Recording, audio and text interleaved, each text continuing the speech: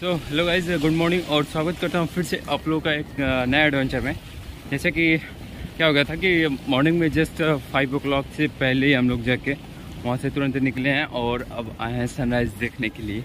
सो so, ये रहा इधर का मॉर्निंग व्यू बहुत ही अमेजिंग है। अभी सनराइज़ नहीं हुआ है उसका वेटिंग कर रहे हैं हम लोग। और फिर इसके बाद की अपनी की राइड स्टार्ट करेंगे और आज की राइड शायद तिरुवनंतपुरम के लिए स्टार्ट हो जाए। अभी कंफर्म नहीं है, कुछ लोग आ रहे हैं। उन लोग से मिल के कन्फर्म करते हैं। फ़िलहाल चलते हैं।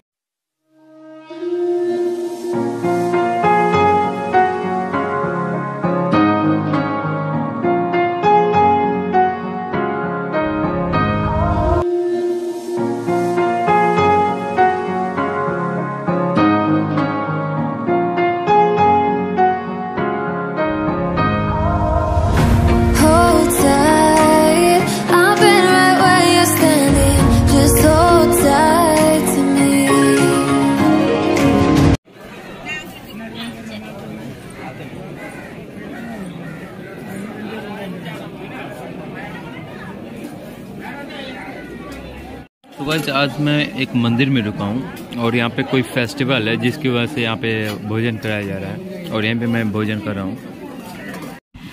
वाह सच अ ब्यूटीफुल प्लेस हम जा रहे हैं सगुंथरा बीच यहीं पर। बस पास में ही सगुंथरा एक बीच है।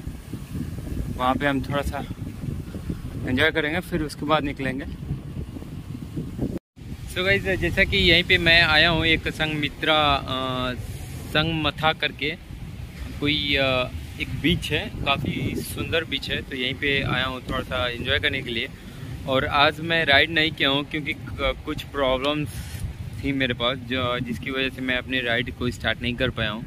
और कल अपनी राइड हम स्टार्ट करेंगे तिरुवनंतपुरम के लिए, जो कि कल हम बहुत मॉर्निंग में ही समथिंग केरला में इंटर कर लेंगे। फिर से दसवें राज्य में स्वागत होगा। लेकिन फ़िलहाल आज हम यहीं पे हैं और आज का कोई ठिकाना नहीं है कि हम कहाँ पे स्टे करेंगे।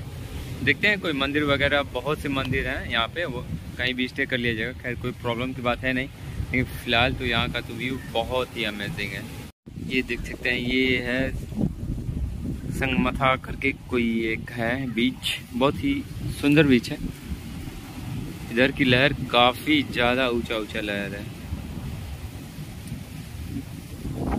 तो ये रहा रूम टीवी तो मैं कभी यूज़ करता ही नहीं हूँ। सो हेलो फ्रेंड्स जैसा कि यही रूम मुझे मिला है और मैंने डिनर कंप्लीट करके आ गया है और अब मैं चलता हूँ रेस्ट करने के लिए। और जैसा कि आज आप लोगों ने देखा कि मैंने राइड नहीं किया कुछ ज़रूरी काम की वजह से। तो आज पूरा कंप्लीट हो गया और कल अपनी राइड को हम स्टार्ट करते हैं। तो चलिए ठीक है, वीडियो को यहीं पिन करते हैं और मिलते हैं हम आपसे नेक्स्ट एडवेंचर में। तब तक आप हमारे चैनल में बने रहिए और अब तक भी बने रहने के लिए बहुत बहुत थैंक यू सो मच तो यही रहा रूम